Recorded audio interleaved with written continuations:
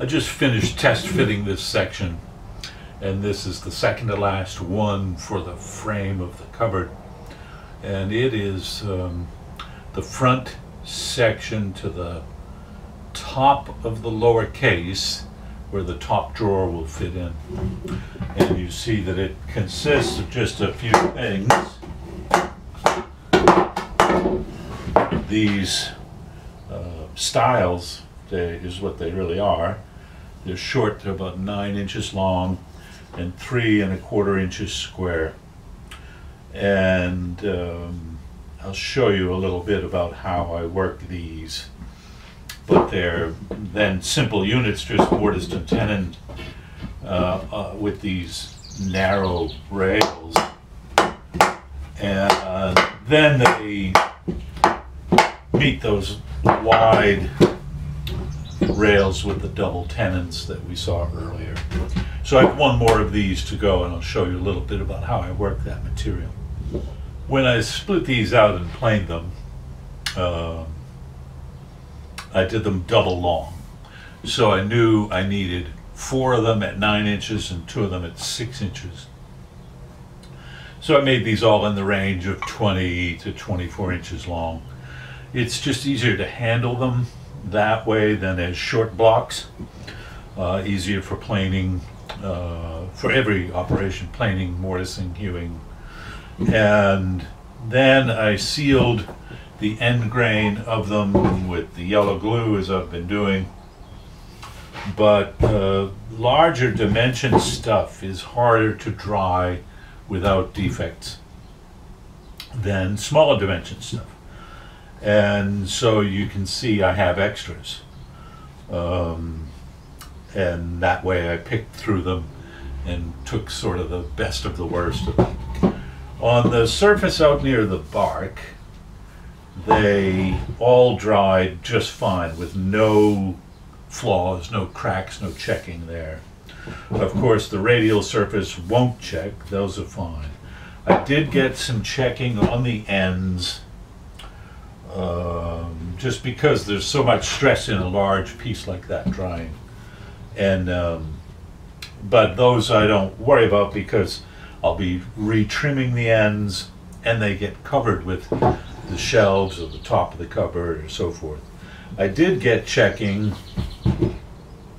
on this inner tangential face, the, the part that's facing towards the middle of the tree. This is the bark of the tree, that's the heart of the tree. So I got checking in there, and in some cases, uh, worse than in others. This one is running right down the length of the piece and playing connect the dots with that check right there. Now the mortises would fall here, so they wouldn't really, that crack wouldn't really affect the joinery. But one concern was then if I sever this in half in length, that it would split right open. so that one was a reject, as was this one, same reasoning.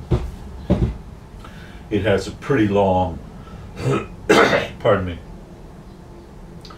it has a pretty long crack right there.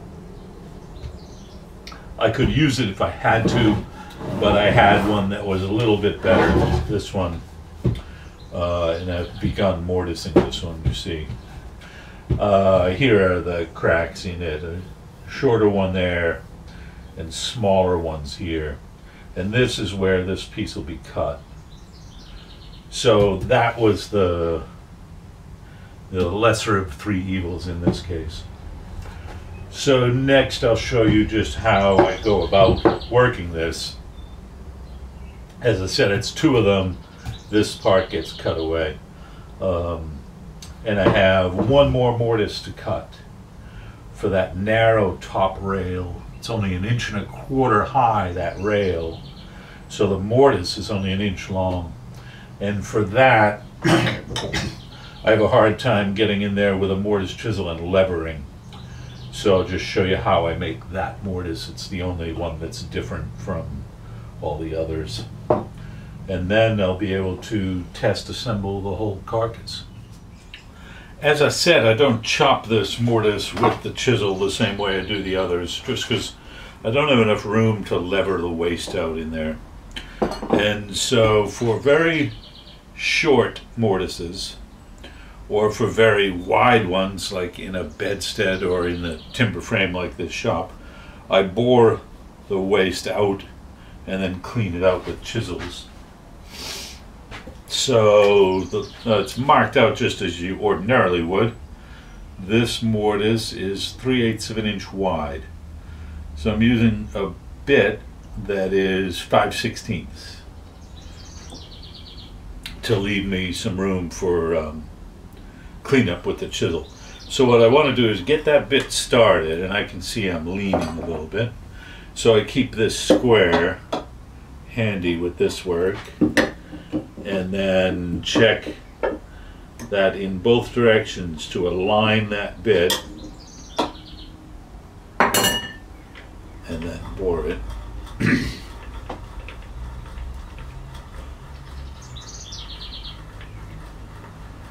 You can set a bit depth stop on your tool.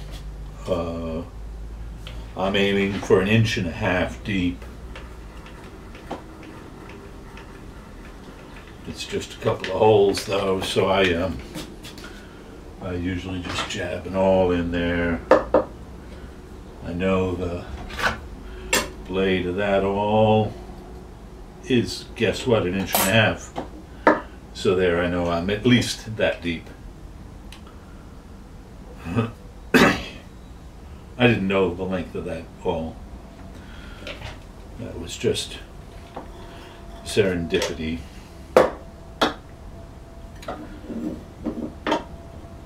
So I do the two end, the two ends of the mortise first.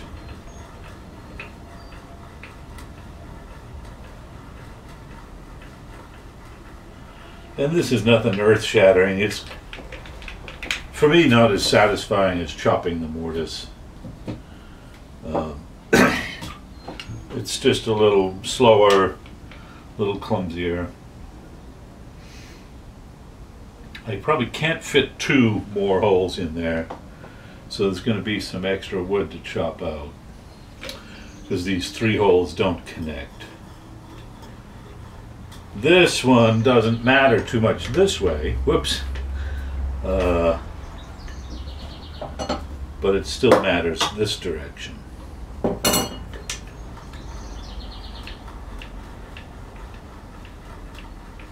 I guess the best way to test that, I was just thinking, if this surface isn't reliable, putting the square on that doesn't help me much. And I could judge it by is the bit parallel to this face. And it's pretty close.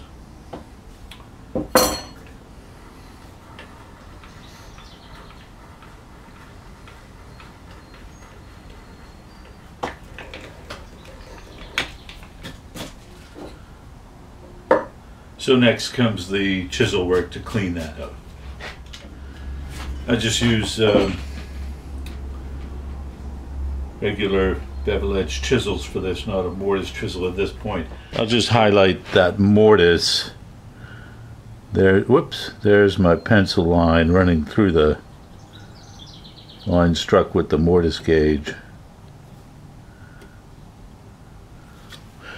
So my chisel is going to start inside that pencil line. And with the bevel into the waste, just starting to break that stuff out.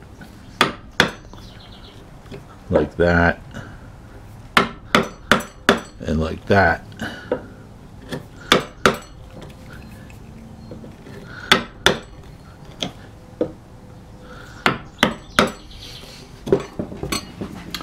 And I have to keep switching to a smaller chisel there to try now to lift that material out of there. And with these, these chisels aren't built for much prying like this, so you do want to make sure that whatever you're picking at in there is already severed. You don't want to wedge the chisel in there and have a hard time getting it back out. Now I'll come closer to that line.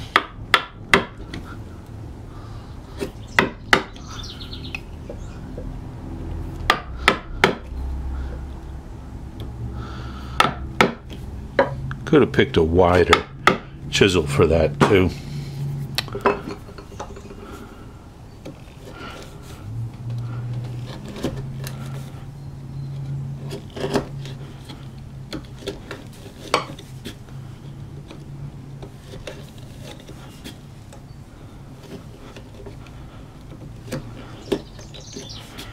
Go get one more. That's a little better. So here I'll put it right in my mortise gauge line.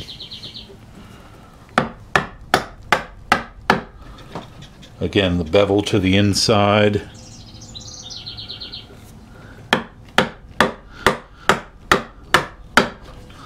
Like that.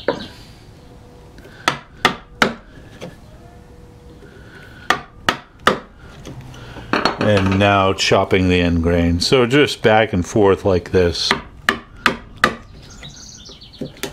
Once you get it down in there, you can uh, usually get the rest of it out pretty easily.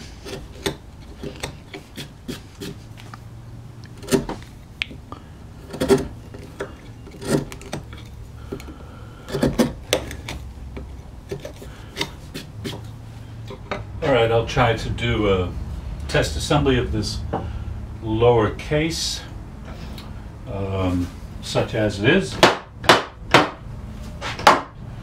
These units uh, uh, went over before. This is the side with that recessed stile, these deep rails and the panels. So that's all test fitted. Um, and what I'll want to do is into that insert the back frame and that's just uh, two rails and a muntin. So knock those together.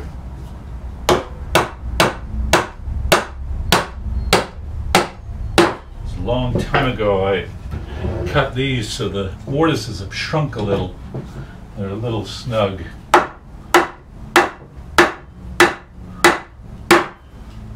And I have yet to cut panels for these. So here I have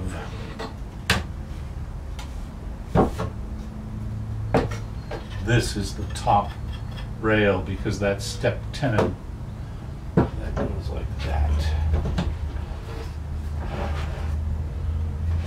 I don't know if there's really enough room in this shop to do this for a video.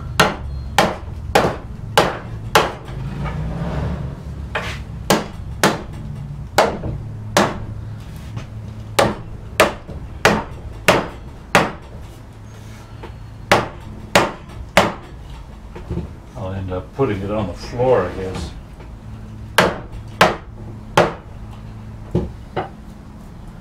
And that's probably where I am now, because the next thing to go in will be those three drawer rails, and then drop the, the other one of these units onto those five pieces. So let me rejig, put it on the floor and do that. These drawer rails are two different sizes. There's two at an inch and a quarter, one at an inch and a half. And I found out the hard way that the inch and a half one goes up top because I tried to put it down the bottom. And these fit in pretty easily. So now this game isn't terribly hard. Uh, it'd be easier if you had help. Uh, but it's within reason. So I get the back one started.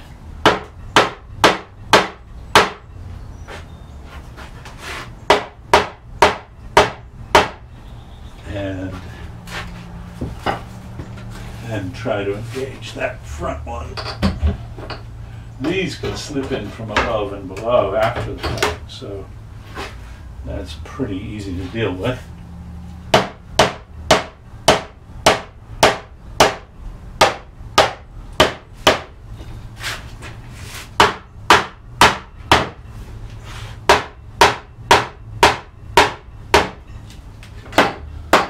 Now comes those units I've been working on the drawer front units. I think what I will do is rejig, put it back on the table, on the bench, and drop those on from above. This is the unit for the top drawer, and it's all sub-assembled, so it's just a matter of putting it on those tenons, locking it in place.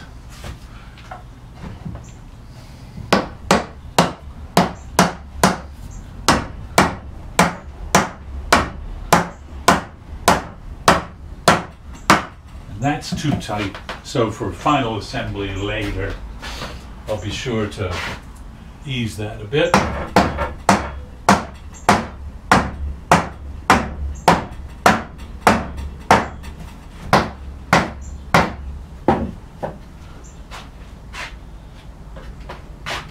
Do, do, do, do.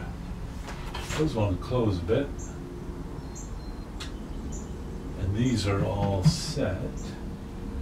So that'll be interesting.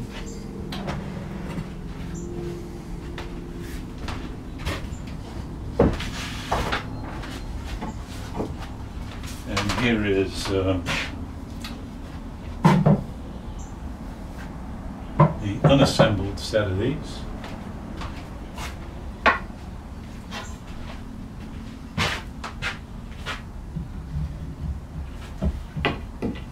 Ah.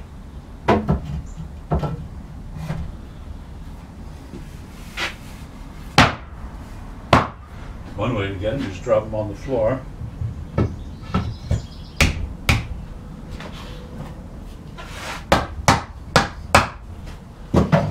And then these go down here. Ooh, something is haywire. Let's hope not. I don't really want to redo any of this.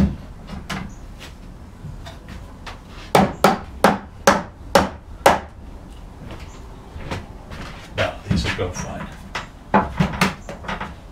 He said.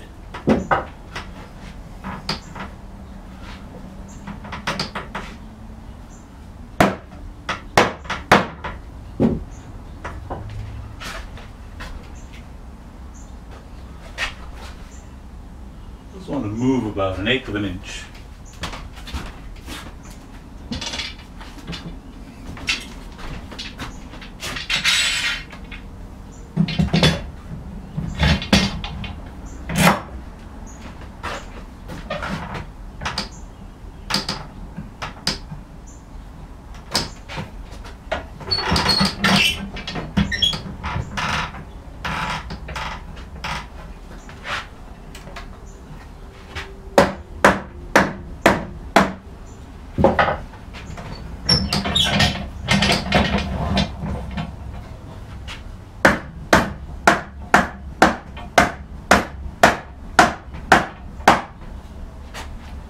Well, how do you do?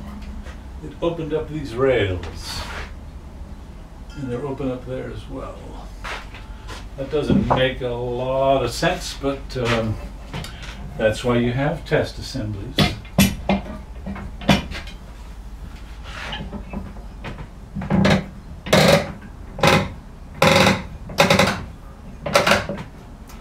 That can close.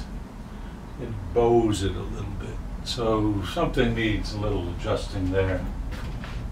Uh, Try the same thing on the top section.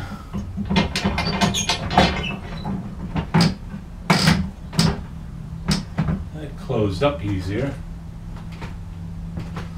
Oh, well, it isn't all the way closed.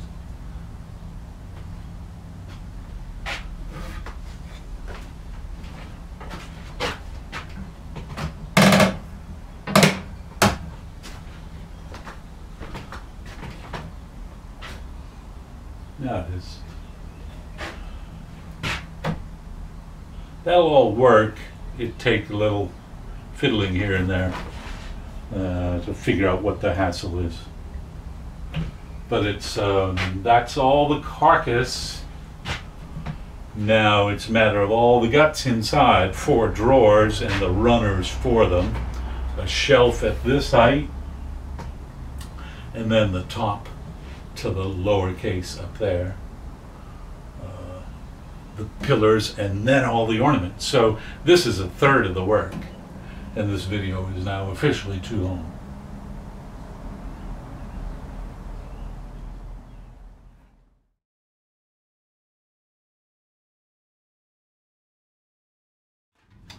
Here I've got the upper case test fitted, laying on its back. There's a lot of work still to be done to it.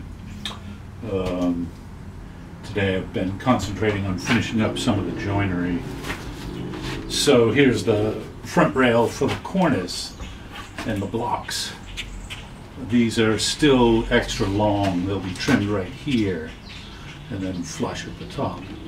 But they rest on those two tenons. Let's see if it's gonna work.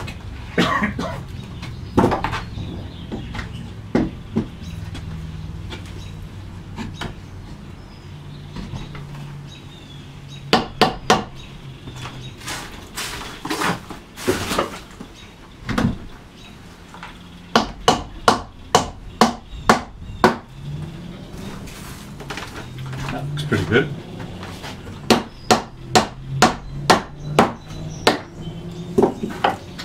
And, well, one way to find out.